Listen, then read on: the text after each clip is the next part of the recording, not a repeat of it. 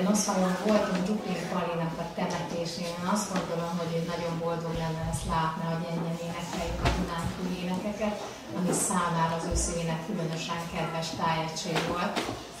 A következő összeállítással egy picit rá emlékeznénk, hiszen ahogy az autóba idefele jövett beszélgetünk, Dzsupin Pali a különleges mesterünk, barátunk, tanítom volt, hogy egyszerre két helyen van az országban.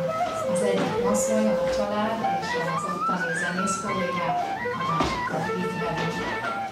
Amit pedig gondoltam, az egy zöldág járódal, ami szintén ide erre a területre jellemző hegymagasról, aztán Somogyból, Szóládról, majd Salföldről fog szólni egy pici, rövid részlet a zöldági járásban, amit húsvét vasárnapján énekeltek, ez picit furcsa, hogy most miért ez jutott eszembe egy tepetés kapcsán, de hogyha elmondom hozzá a csuvas éneket is, ami konkrétan a halált a tavaszhoz hasonlítja, akkor sokkal inkább érthető lesz, és a szöveg is egy más mélységbe és magasságba kerül.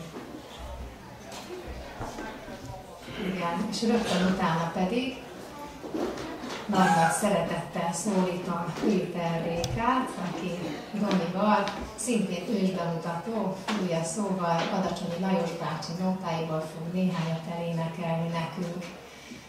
Csupikbal is sokat gyűjtött Lajos bácsitól, és akkor ezzel is megtisztelünk.